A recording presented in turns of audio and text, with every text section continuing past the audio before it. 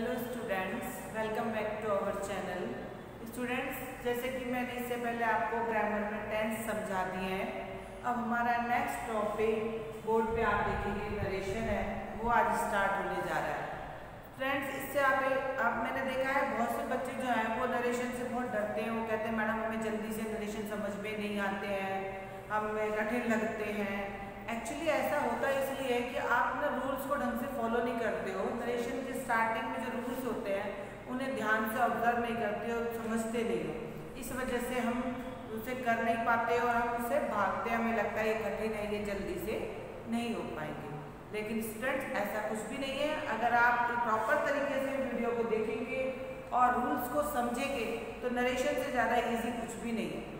बहुत इजी है ये। आपने बस प्रॉपर तरीके से इसे देखना है वीडियो को और इनके जो रूल्स हैं उन्हें समझना है तो आपको नरेशन भी समझ में आने लगेंगे और आप खुद से सही करने लगे ओके स्टूडेंट्स मैंने जैसे कि नाइन्थ में भी आप लोगों को नरेशन समझाए हुए थे तो कुछ उस समय समझ आ रहे होंगे, कुछ आपको अब समझ में आ जाएँगे। तो आपने प्लीज़ वीडियो जो भी आपको भेजी जा रही है, उसे पूरी देखिए और बार बार देखिए। जिससे कि आपको ये अच्छे से समझ में आ सके। ये नहीं कि एक बार वीडियो को देखा फॉरवर्ड करते गए आगे की तरफ़ हो गई भी हमने देख ली। ऐसा नहीं है। आप कभी देखिए स्कूल चल नहीं रहे हैं। घर पे ऑनलाइन है, आपकी चल रही है स्टडी तो आपने ऑनलाइन स्टडी को पूरा ध्यान से करना है। वीडियोस को आपने प्रॉपर फुल वीडियोस देखनी है और बार बार देख के समझना है। आज हम नरेशन स्टार्ट करेंगे। ओके स्टूडेंट्स चलिए स्टार्ट करते हैं। जैसे कि नरेशन यानी रिपोर्टेड आप देख रहे हैं, इसके दो पार्ट होते हैं एक डायरेक्ट स्पीच और एक इनडायरेक्ट स्पीच ठीक है? डायरेक्ट स्पीच यानी कि जो किसी के द्वारा कही हुई बात को उसी रूप में कहा जाए तो वो कहलाता है डायरेक्ट स्पीच और इनडायरेक्ट स्पीच होता है, जब किसी की कही हुई बात को हम अपने शब्दों में कन्वर्ट करके कहते हैं तो वो कहलाती है इनडायरेक्ट स्पीच सारा खेल इसी का इस डायरेक्ट स्पीच को हमें इनडायरेक्ट स्पीच में बदलना है। यानी किसी की कही हुई बात को हमें अपने शब्दों में कहना है। अब डायरेक्ट स्पीच में आप देखेंगे। She said I am busy okay आप यहाँ पे एग्ज़ाम्पल देखिए उसने कहा था कि आई एम बिज़ी मैं बिज़ी हूँ ये उसी की लैंग्वेज है उसने कहा था कि मैं बिज़ी हूँ अब ये उसने कहा था मैं बोली थी उसने कहा था कि मैं बिज़ी अब हम इसे अपनी उसने कहा था कि वो बिज़ी थी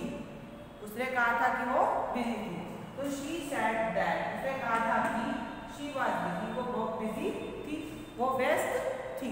तो ये हो गया हमारी लैंग्वेज और ये हो गई जो उसने कही है वही लैंग्वेज इस लैंग्वेज को अपनी लैंग्वेज में जब हम चेंज करके लिखते हैं तो वो ही कहलाते हैं डायरेक्ट और इनडायरेक्ट स्पीच आप यहाँ पर देखेंगे कि शी सेड यहाँ पर है comma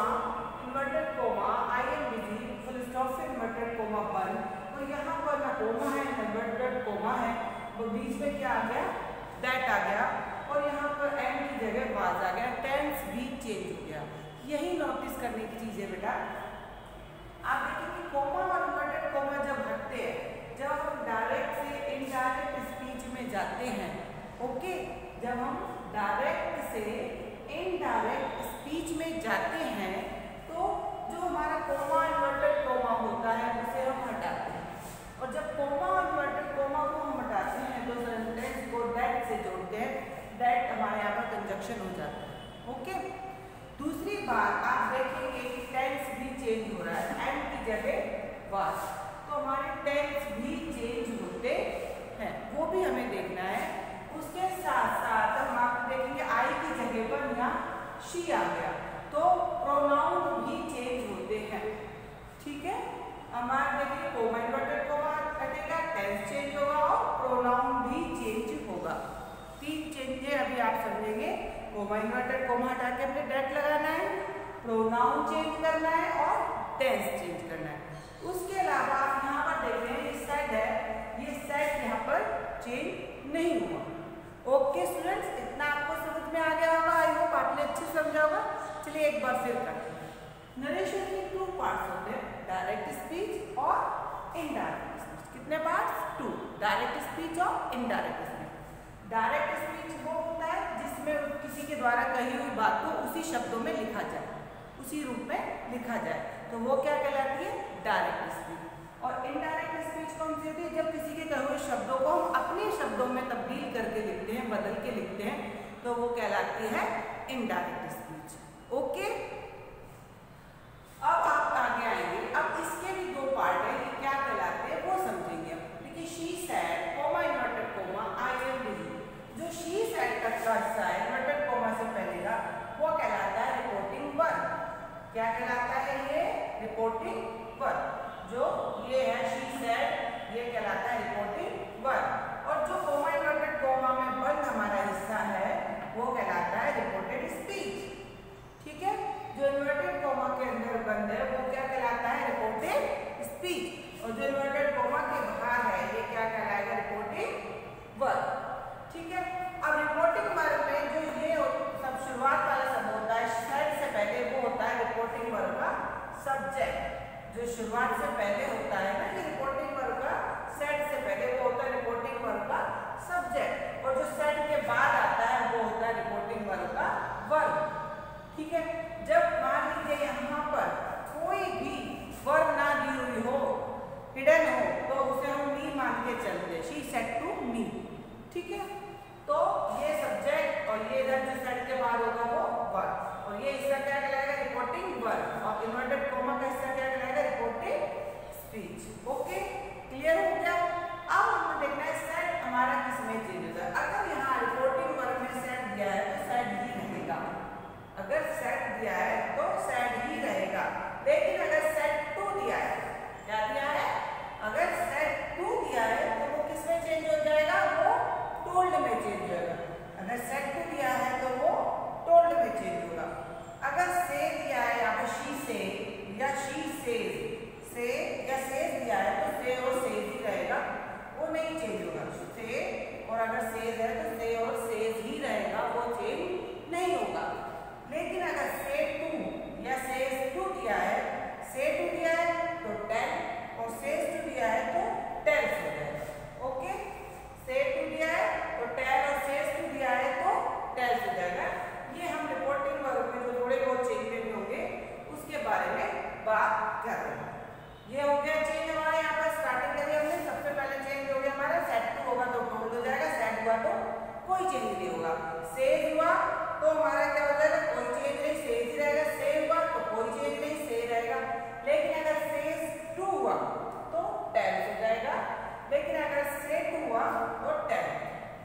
ओके इसके बाद इन्वर्टेड कोमा आता है। इन्वर्टेड कोमा को हटाकर हम दैट का प्रयोग करते हैं। इन्वर्टेड कोमा को हटाकर हम दैट का प्रयोग करते हैं। आप यहाँ एग्ज़ाम्पल देख रहे हैं ना इन्वर्टेड कोमा को हटाकर हमने दैट का प्रयोग किया उसके बाद चेंज ऑफ़ पर्सन अब यहाँ पर जो ये पर्सन होते हैं, जो अपने प्रोनाउन होते हैं, इनमें क्या चेंज होगा? आप देख रहे हैं यहाँ आई का क्या हो गया था? शी चेंज ऑफ़ पर्सन इनके भी रूल होते हैं। देखिए बेटा फ़र्स्ट पर्सन के जो प्रोनाउन होते हैं आई और वी फ़र्स्ट पर्सन के जो प्रोनाउन होते हैं फ़र्स्ट पर्सन के प्रोनाउन हो गए आई और वी ये रिपोर्टिंग वर्ब के सब्जेक्ट के अनुसार, यानी रिपोर्टिंग वर्ग के सब्जेक्ट के अनुसार बदलते हैं, ठीक है? ये हमारा रिपोर्टिंग वर्ब का सब्जेक्ट जो फ़र्स्ट पर्सन के प्रोनाउन आई और वी है वो रिपोर्टिंग वर्ब के सब्जेक्ट के अनुसार बदलेंगे ओके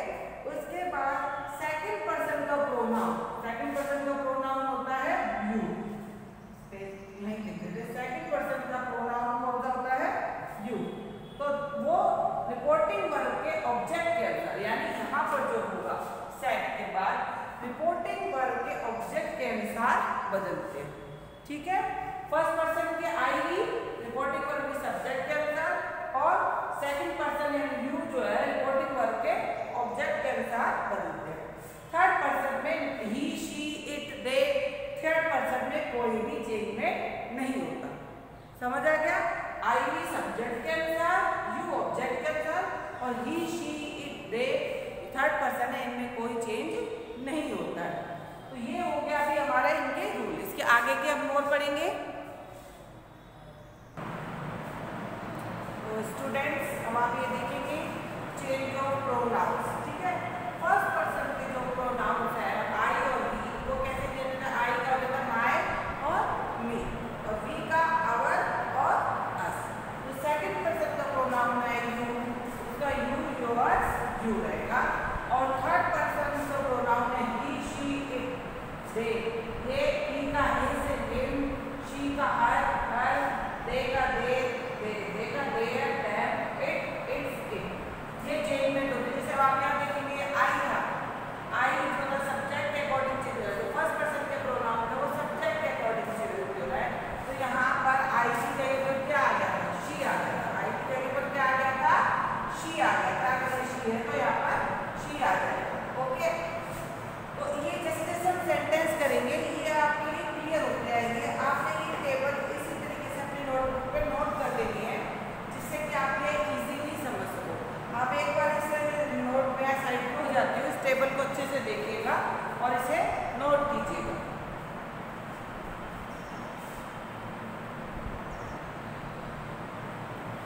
ओके स्टूडेंट्स आपने देख